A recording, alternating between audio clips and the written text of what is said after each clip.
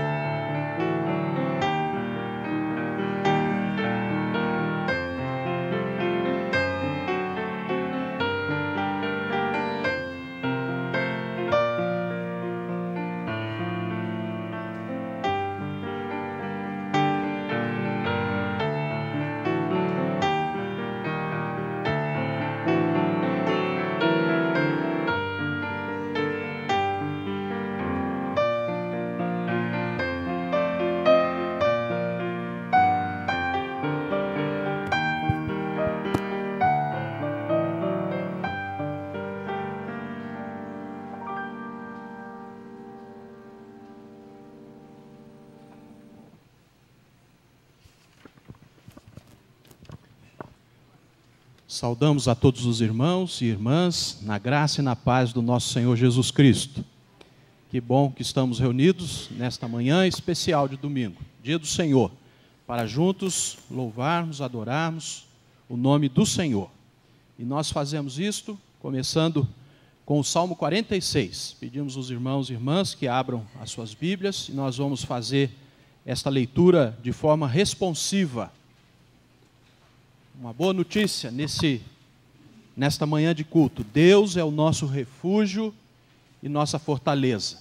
Foi durante toda esta semana que se passou e será segundo a sua vontade para esta nova semana que iniciamos. Vamos nos colocar de pé e vamos fazer esta leitura responsiva do Salmo 46. Deus é o nosso refúgio e fortaleza, socorro bem presente nas tribulações.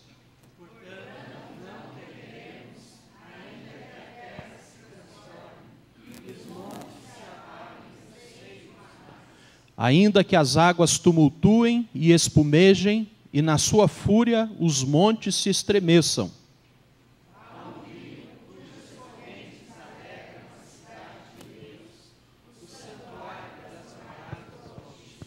Deus está no meio dela, jamais será abalada. Deus a ajudará desde antemanhã.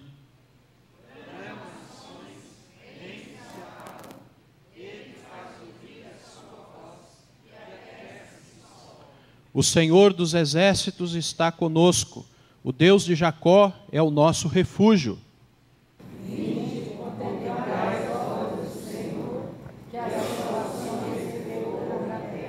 Ele põe termo à guerra até os confins do mundo, quebra o arco e despedaça a lança, queima os carros no fogo.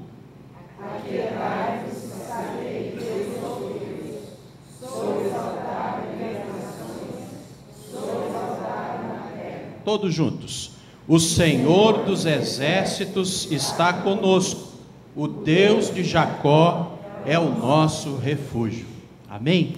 Nós vamos falar com Deus em oração, agradecendo ao Senhor e adorando. Vou pedir à nossa irmã Uda, presidente da nossa SAF, para que nos dirija a Deus nesta palavra de oração. O microfone vai chegar aqui para nossa irmã.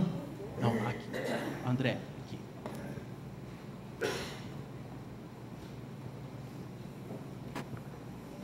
Nosso Deus, nós agradecemos a bênção de podermos estar aqui nesta casa, nesta manhã tão bonita. Agradecemos pela vida que o Senhor nos dá, que o Senhor nos despertou para estarmos aqui. Obrigado a Deus, porque nós reconhecemos que o Senhor é o nosso Deus e adoraremos somente ao Senhor. Amém. Obrigado a Deus pelos amigos e irmãos que estão aqui presentes nesta manhã Obrigado, Senhor, pela dádiva da salvação em Jesus Cristo. E agradecemos, Senhor, pela tua palavra que nos edifica. Dá, ó Deus, a tua companhia e a tua bênção sobre cada um nesta manhã. E abre o nosso entendimento para aprendermos a tua palavra. Nós agradecemos no nome precioso de Jesus. Amém. Amém. Ainda de pé, louvemos ao Deus Trino e Santo com o cântico do hino de número 2.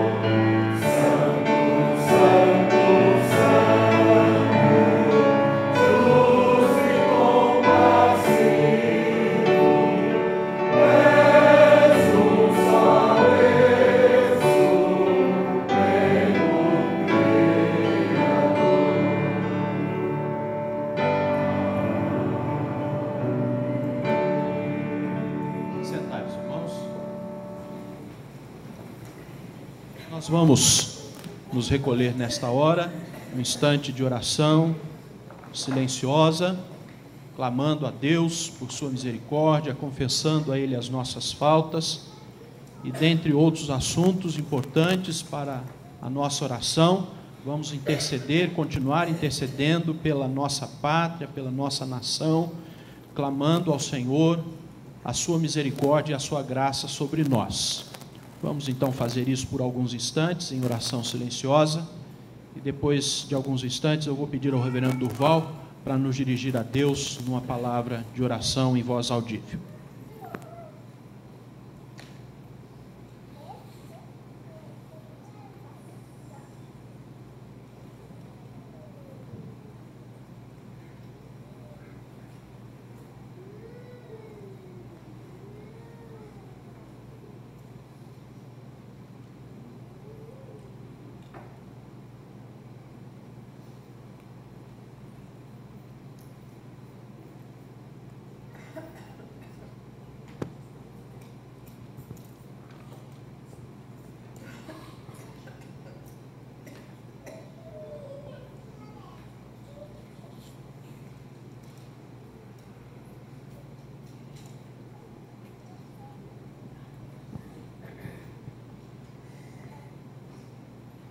Querido Deus, mais uma vez, queremos apresentar diante de Ti os nossos corações,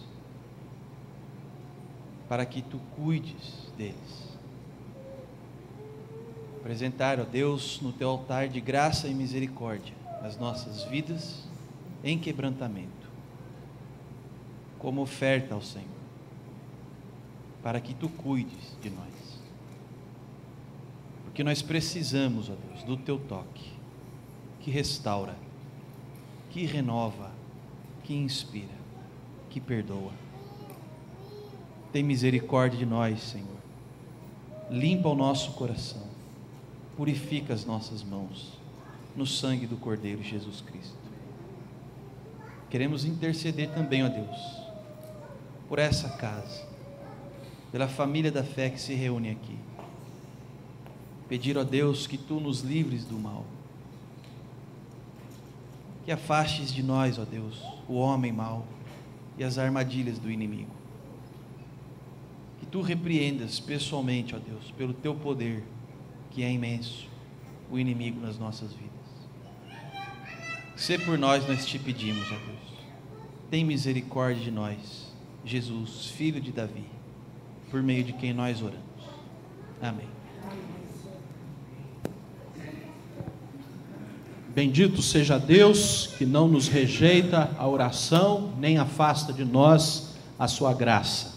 Amo o Senhor porque Ele ouviu a minha voz, se inclinou para mim quando clamei por socorro. São algumas expressões de louvor que temos nos Salmos que bendizem ao Senhor por sua graça e por sua misericórdia. E é isso que vamos fazer também nesse culto de louvor e de adoração ao nosso Deus. Vamos nos colocar de pé e nós vamos ser dirigidos nesses cânticos que adoram e louvam ao Senhor.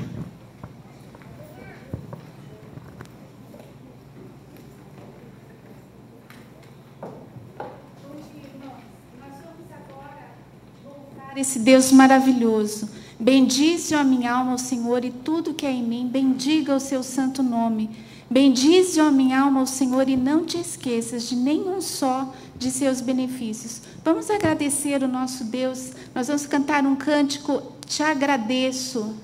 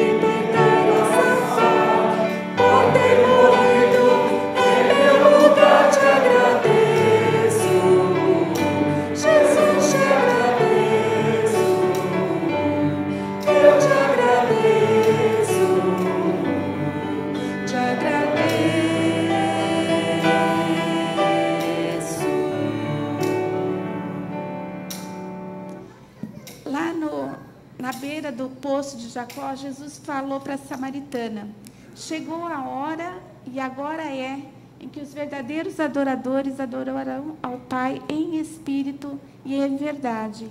E são estes adoradores que o Pai procura. Estamos nós aqui hoje para adorarmos ao Senhor em espírito e em verdade.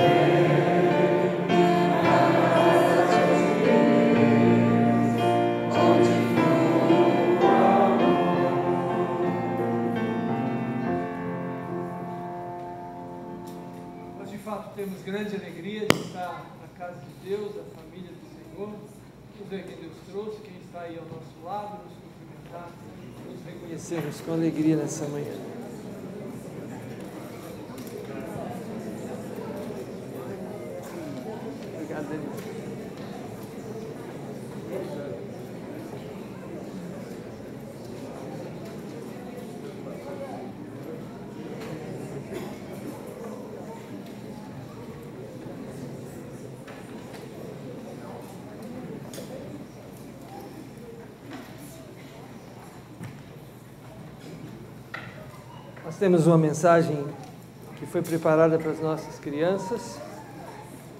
A Luciana Saraiva vai levar a mensagem para as que têm até dois anos.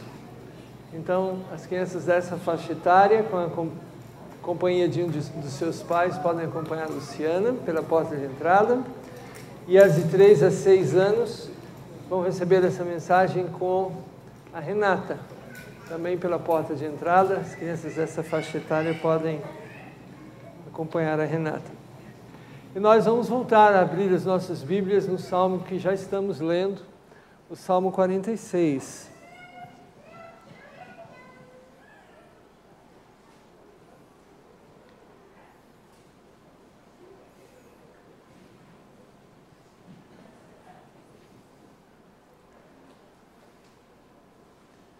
Esse salmo é um salmo que fala para nós de maneira assim muito forte, muito direta. Porque ele nos apresenta um Deus em quem nós podemos encontrar socorro, refúgio e fortaleza. E o que mais nós necessitamos em nossa vida do que isso? E a maneira como o Salmo nos coloca essa afirmação atinge todos os aspectos da nossa existência. Uma coisa que nós descobrimos assim bem cedo na nossa vida é o quão frágeis nós somos. Às vezes nós temos a impressão de que nós somos super poderosos, de que nós temos capacidades, imaginação e condição, e ninguém nos impede, nós vamos em frente. Às vezes a gente ouve tanto isso, e agora na época das Olimpíadas, por exemplo, a gente vai sempre ouvir isso dos que são mais rápidos, dos que pulam mais alto, recordes que são quebrados, equipes que são formadas de maneira que juntas elas estabelecem novos recordes. E o ser humano gosta de louvar a si mesmo, gosta de buscar algo que ainda não conseguiu achar, encontrar.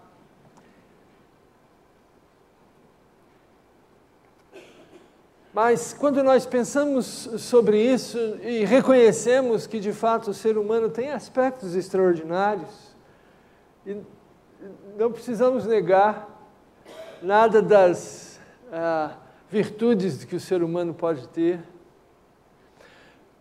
mas nós não podemos nos esquecer jamais de que, apesar disso tudo, nós continuamos seres carentes e frágeis. Por isso, o Salmo 46 é um salmo que fala conosco sempre. É um salmo que, que nos lembra de que, apesar de todas as nossas virtudes e belezas, nós precisamos de refúgio, precisamos de socorro. E quando nós pensamos sobre isso, nós encontramos esse salmo, e ele nos apresenta algumas razões, eu, eu creio que esse salmo nos apresenta duas razões, das quais nenhum de nós pode fugir da nossa necessidade de refúgio e de socorro. A primeira está aí nos versículos 2 e 3.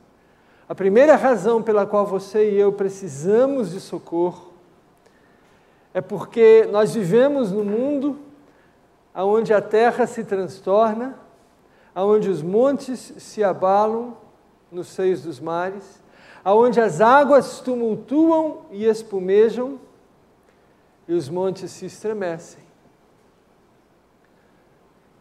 Quem somos você e eu diante da fúria da natureza? Quem?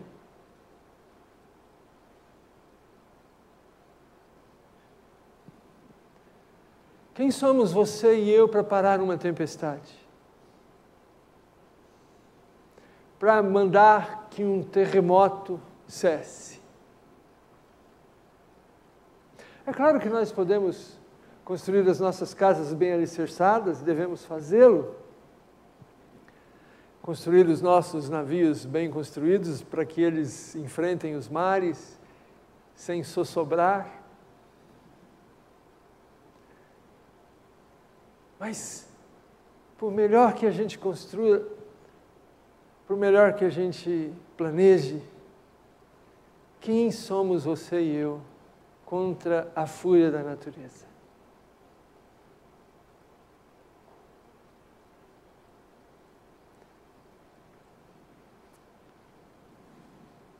Nós vivemos num mundo que, por mais interessante, bonito que seja, é também um mundo furioso, um mundo amedrontador.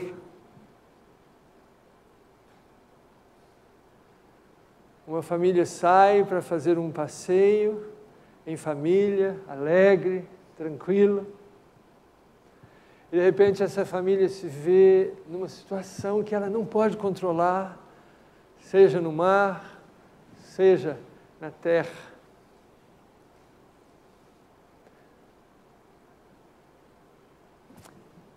E por melhores que sejam os nossos recursos, nós aprendemos bem rápidos que nós precisamos de socorro.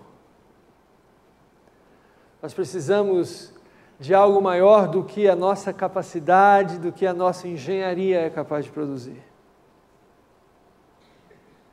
Nós somos agredidos e podemos ser destruídos pelas intempéries. E o salmista reconhece isso. E é de modo assim, bastante prático que o salmista coloca. Seja no mar, seja na, na terra, perdão.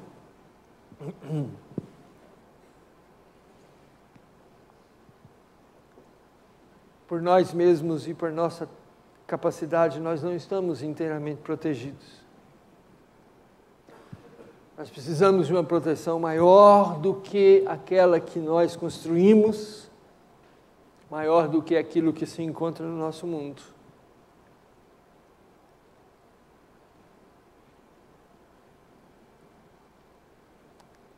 Nós é, vivemos num país onde, de certa forma, sofremos pouco com, com as, essas questões, maremotos, terremotos, acidentes naturais.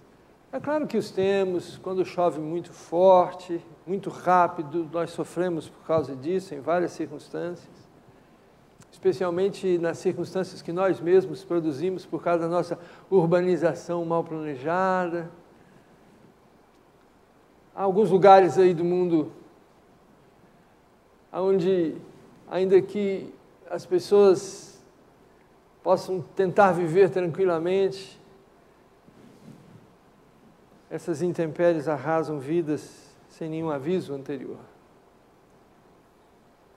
Portanto, nós precisamos de um refúgio, porque nós vivemos num mundo que pode nos machucar, pode nos ferir e pode nos destruir. E segundo as informações que nós temos, nós mesmos temos provocado isso, provocado a, a, entre aspas, ira da natureza, da maneira como nós temos tratado nosso planeta, a desordem que nós temos provocado, a poluição, a poluição que não o outro, mas você e eu provocamos. Então, tudo isso nos amedronta, nos faz perguntar como é que vamos viver. Mas não só por esse motivo, o salmista nos fala que nós precisamos de refúgio, fortaleza e socorro. Mas nós também precisamos desse socorro por causa dos nossos conflitos, conflitos humanos Vejam os versículos 6 e 9. bramam nações, reinos se abalam. Depois o, o versículo 9 vai dizer sobre guerra e, e carros de batalha. Se não fosse apenas os problemas naturais que você e eu enfrentamos, nós também criamos os nossos problemas. As, as nações têm problemas internos, os reinos têm problemas internos e entre si. E sobre isso há muito pouco que precisa ser ressaltado, porque todos os dias você e eu estamos sendo informados dos problemas, tanto que temos no nosso país, quanto que existem em outros países. Bombas explodindo em aeroportos, em estações de trem,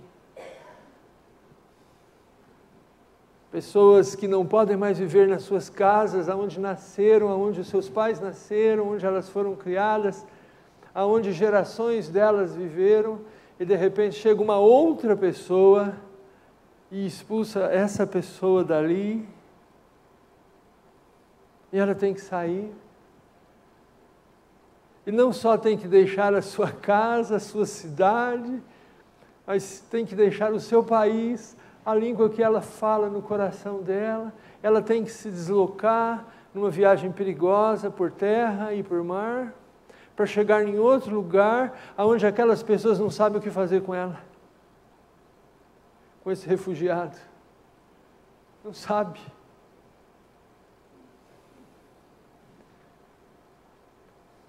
Olha, nós criamos tantos problemas para nós mesmos. Então, o salmista reconhece isso. Que não apenas nós temos dificuldade de viver nesse mundo, mas nós temos dificuldade de viver entre nós.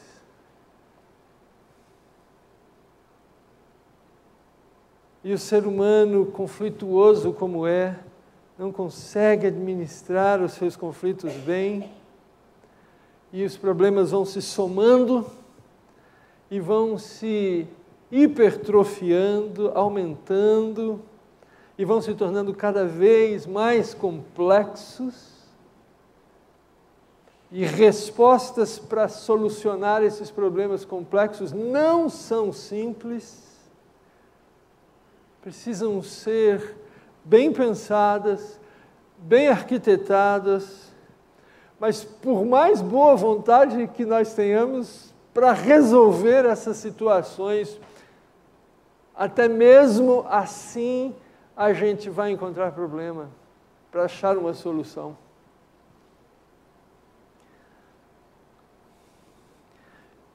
E na raiz disso tudo, a Bíblia é bem clara para nos dizer está o pecado.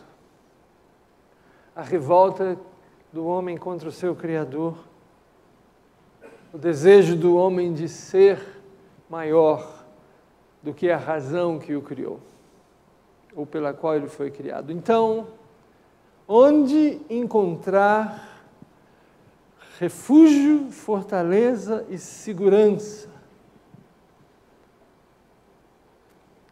no mundo assim? Então, esse salmo nos ensina. Porque essa é a realidade.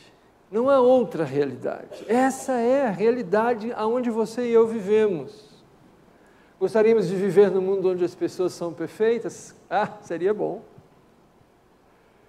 Gostaríamos de viver no mundo onde chovesse o ideal, fizesse sol o ideal, onde não houvesse desastres naturais? Ah, seria bom. Mas esse não é o mundo e essas não são as pessoas. Que temos aí. Então o salmista nos ajuda a pensar como viver diante dessa situação, diante desse quadro. No versículo 8, O salmista nos diz: Vinde, contemplai as obras do Senhor, que assolações efetuou na terra. Esse termo assolações, segundo o original, pode ser também traduzido por grandes sinais. Que grandes sinais o Senhor efetuou na terra.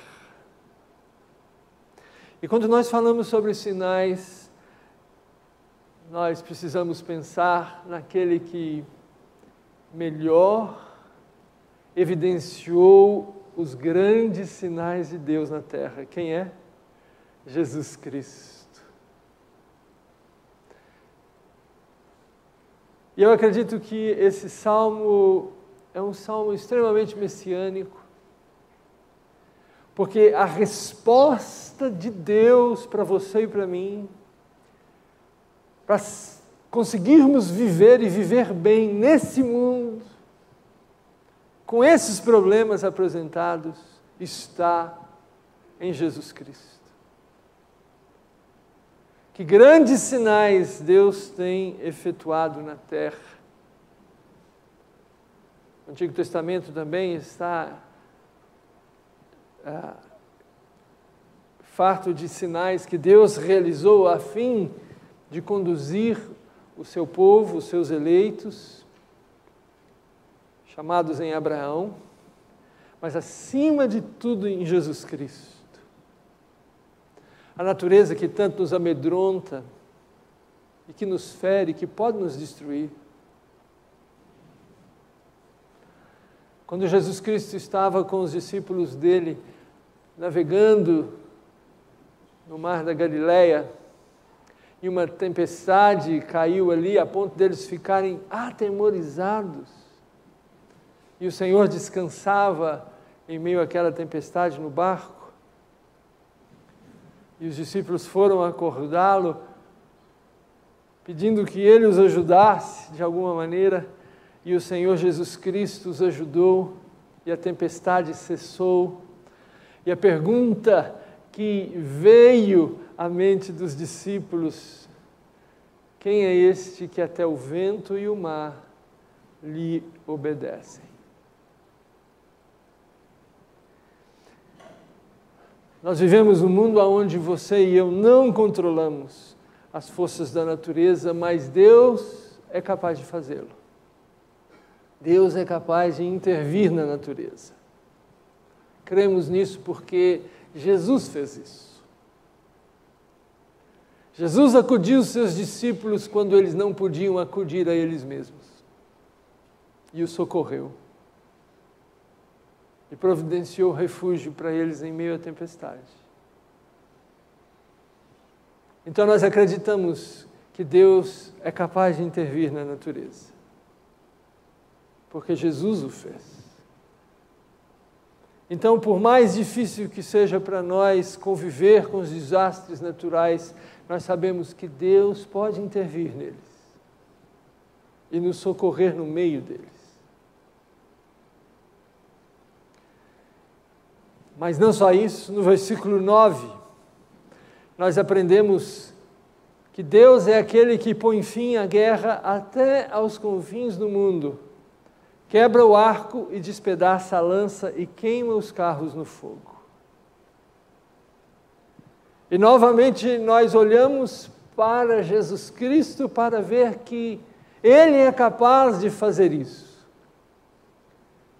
Quando o apóstolo Paulo escreve aos Romanos, o apóstolo Paulo diz assim naquela carta: Justificados, pois, mediante a fé, temos paz com Deus por meio de nosso Senhor Jesus Cristo. Paz com Deus.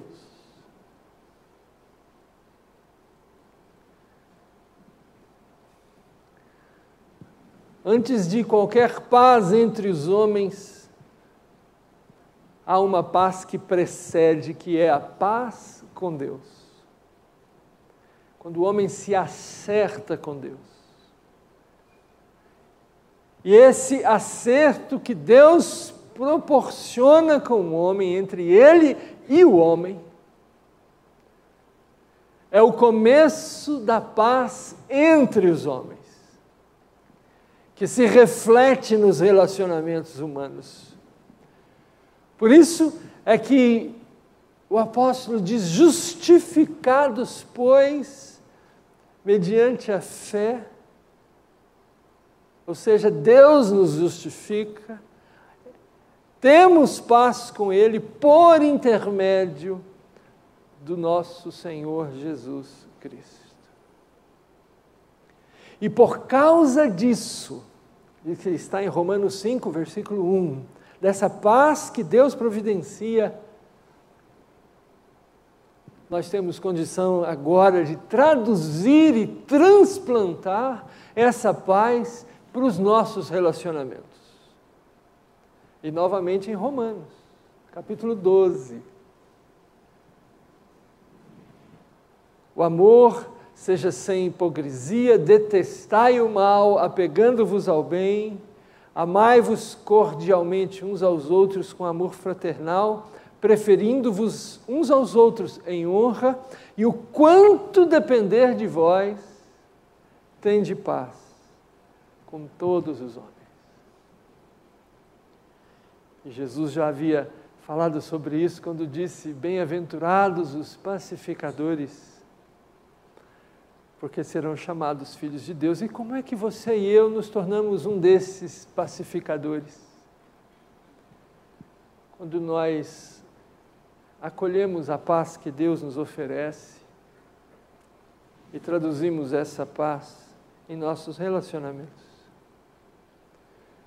Nós conseguimos viver no mundo onde as nações se degladiam, onde os povos se enfurecem, quando nós reconhecemos a paz de Deus, acolhemos a paz de Deus e ofertamos a paz de Deus. Nós estamos vivendo um mundo, é, um momento conturbado no nosso país, nós sabemos, onde os posicionamentos tendem a ser, por demais, fervorosos, e muitas vezes nós facilmente agredimos com os nossos posicionamentos, com as nossas convicções. Eu fico me perguntando se nós estamos reproduzindo agressões que estão sendo comunicadas para nós, e se estamos pensando bem na hora de reproduzir essas agressões, essas polarizações. E dentro da igreja nós precisamos refletir sobre isso. E nossos posicionamentos podem ser justificados nós podemos estar firmes no que nós pensamos sem nenhum problema,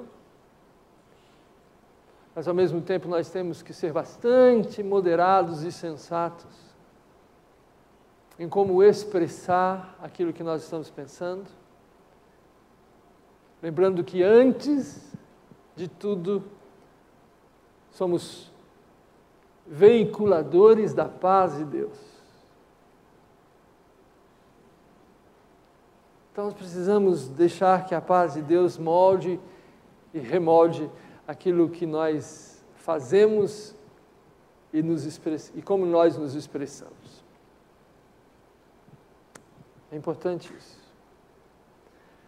Não nos deixarmos levar pela fúria das nações, fúria dos povos.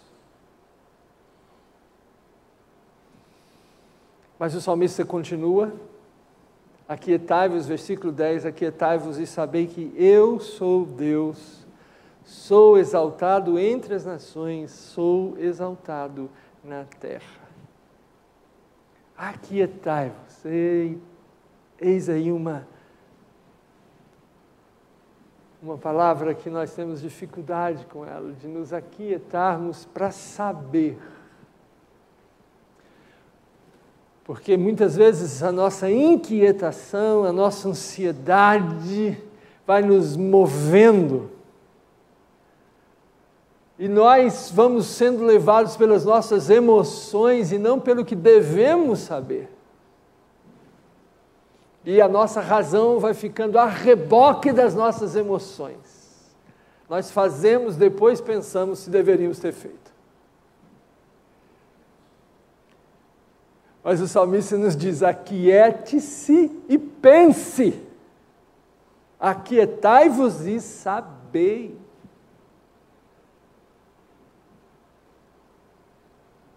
Porque quando nós deixamos Deus falar conosco, nutrir a nossa razão, dar-nos o que Ele tem para nos oferecer, nós conseguiremos expressar-nos bem. Aquietai-vos e sabei que eu sou Deus. E novamente, Jesus é quem traz essa segurança para nós.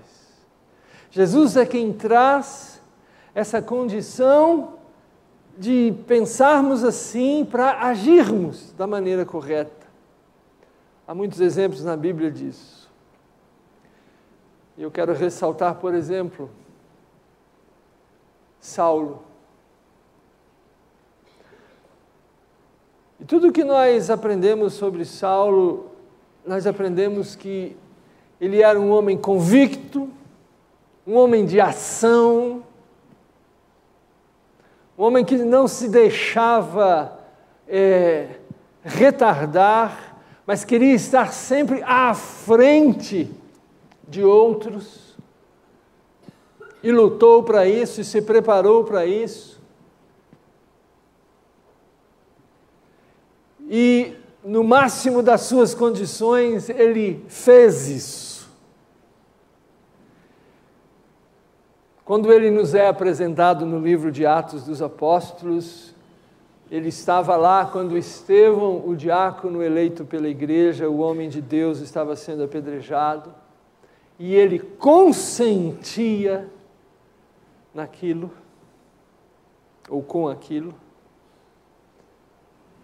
E depois ele reaparece logo em seguida no capítulo 9 do livro de Atos dos Apóstolos, e lá lemos Saulo respirando ainda ameaças e morte contra os discípulos do Senhor. Dirigiu-se ao sumo sacerdote e lhe pediu cartas para as sinagogas de Damasco, a fim de que, caso achasse alguns que eram do caminho, assim homens como mulheres, os levasse presos para Jerusalém. Esse é um homem de ação, um homem que está convicto de que precisa fazer algo para silenciar os discípulos de Jesus.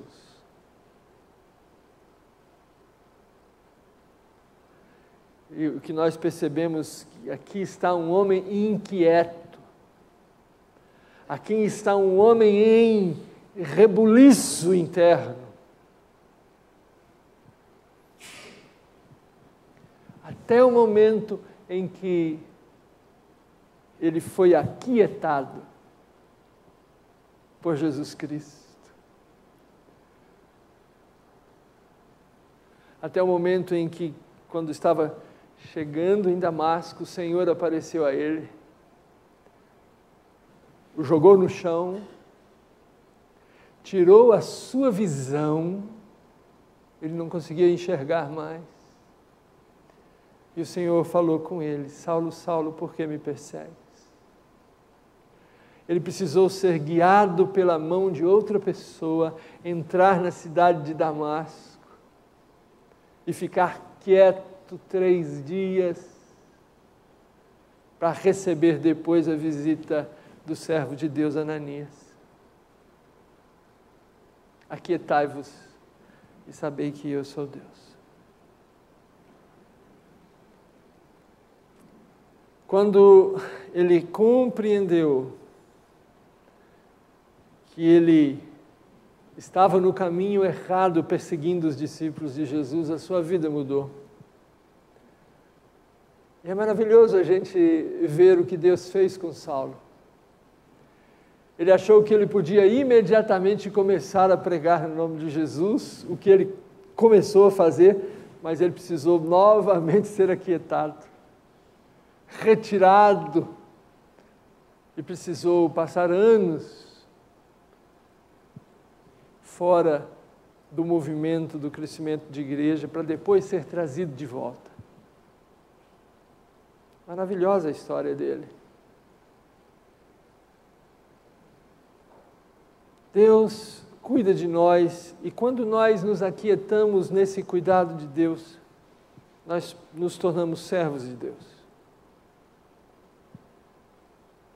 E a última imagem que o salmista nos oferece é essa imagem do rio. O salmista falou dos mares agitados, dos montes que tremem. Mas agora ele fala de um rio que não está agitado. O versículo 4 ele fala: há um rio cujas correntes alegram a cidade de Deus, um rio que traz alegria à cidade de Deus.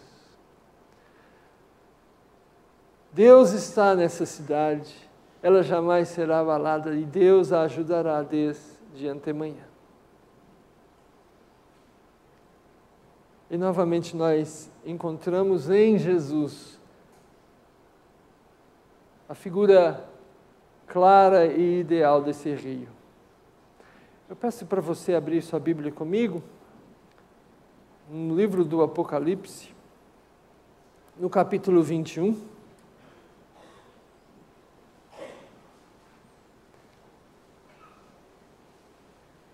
Vejam como a figura do rio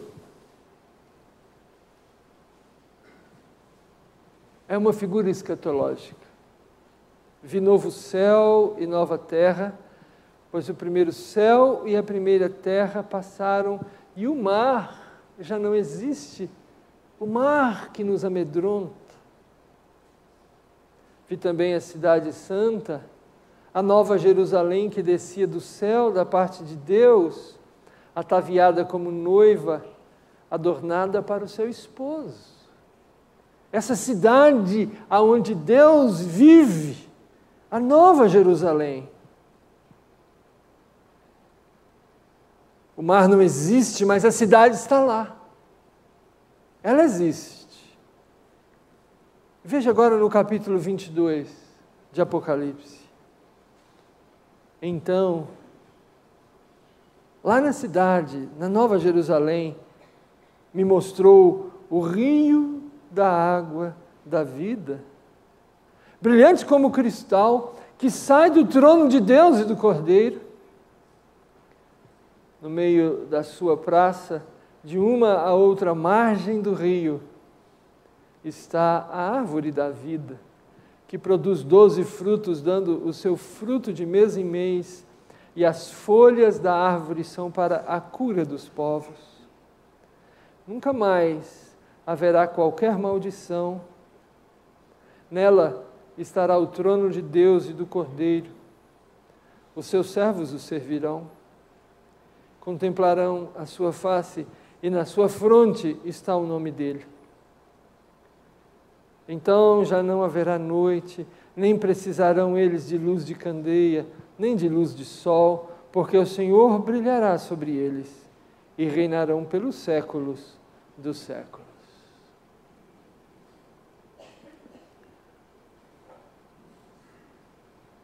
na cidade de Deus, não haverá mais mares agitados, montes e terremotos.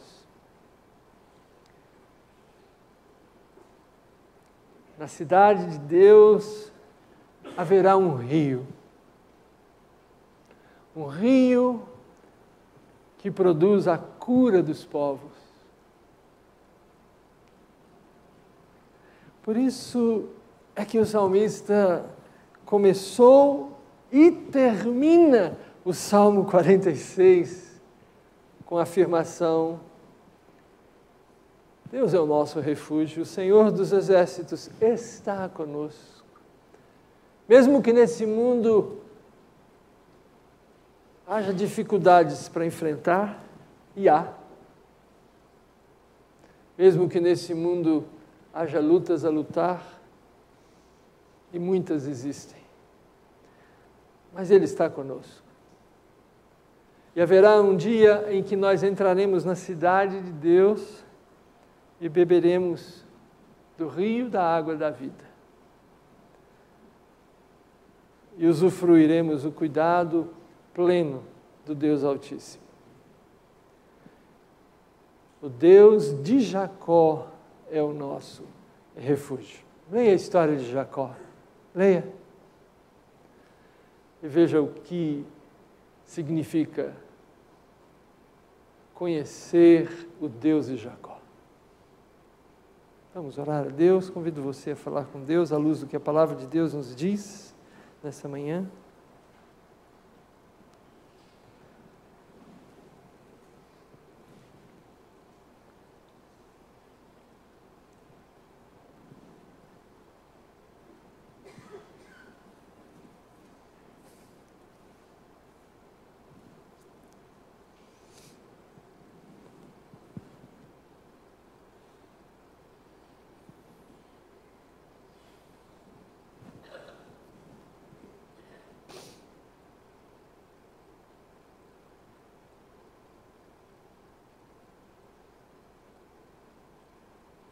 Ajuda-nos, Senhor, a reconhecer a tua presença entre nós.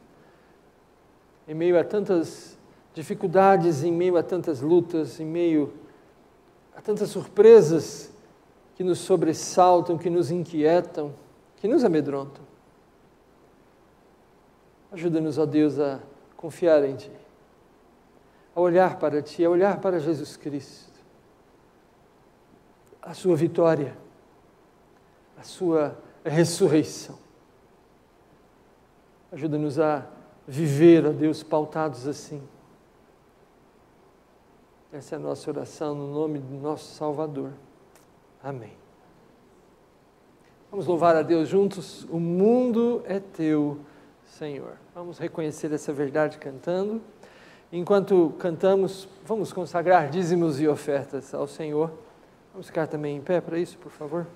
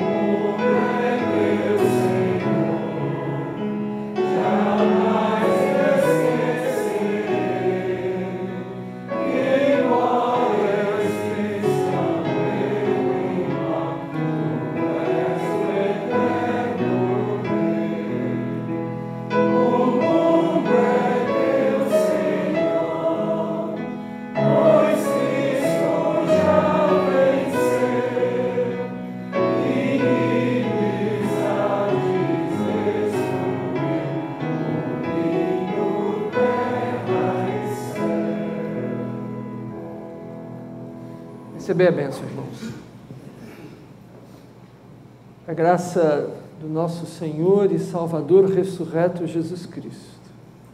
Que o amor imensurável que nos alcança do Deus Pai e que a comunhão presente e transformadora do Espírito Santo repouse e assim permaneça sobre a casa de Deus aqui congregada, irmanada a grande igreja mundo afora, para a glória desse Deus bendito e trino e para sempre. Amém.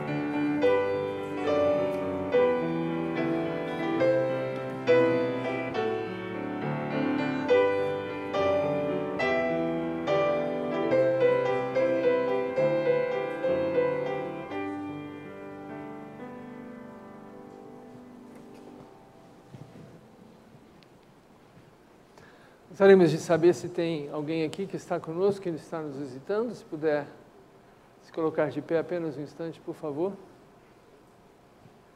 Bem-vinda. Qual é o seu nome? Alcione. Bem-vinda, Alcione. E você? Fernanda. Bem-vinda, Fernanda. Deus abençoe vocês. E você? Karina. Bem-vinda, Karina. Por favor, os irmãos que estão aí, queiram cumprimentar nossas visitas. E você? Adalto. Aí ao seu lado? Larissa, Gabriel.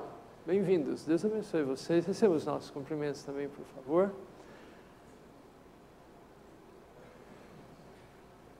Dê atenção ao boletim da igreja, eu te peço, para que você possa se informar e também participar daquilo que Deus está conduzindo nossa igreja a realizar.